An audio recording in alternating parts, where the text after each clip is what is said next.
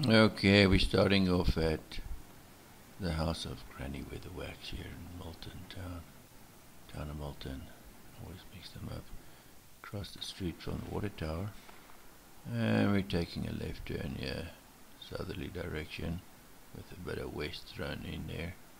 Going past the stuff. And here we go. I know this is very easy.